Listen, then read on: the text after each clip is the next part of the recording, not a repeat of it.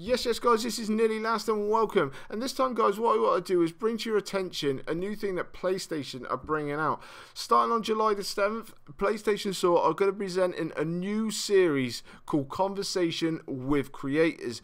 Basically, what they're going to be doing is they're going to be interviewing the companies of The Last of Us, Uncharted 4, Destiny, God of War, and of course, Call of Duty Black Ops 3. Yep, Treyarch are going to be interviewed as well as we know, all the DLC and the early release of the beta has moved over to PlayStation now. So obviously they're getting their hands on with time with the directors and whatnot else talk about the upcoming game. So starting on July the 7th, they're going to be interviewing Bungie. July the 14th will be Naughty Dog, and on July the 21st will be Treyarch. Yep. So we should be hearing a lot more about what is going on within the game. Now, from what I understand, they have already had this conversation, that they've already just been talking and whatnot else.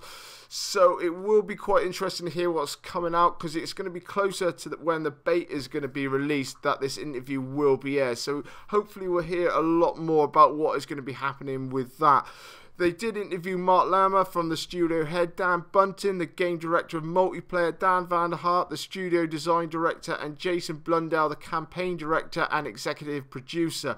So they've got hands on time with quite a few people from Treyarch just to be talking about the game. So they'll be covering everything from zombies, the campaign, and the multiplayer as well. So I know they've been collecting a lot of stats, especially over E3 and when people were playing it when it first came out on the pre-pre alpha.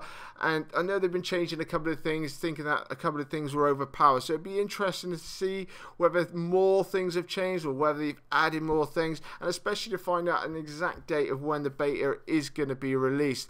You can catch all this, guys, if you've got the PSN. If you are on PlayStation, you can catch that on your, your PlayStation, your PS Vita, and whatnot else.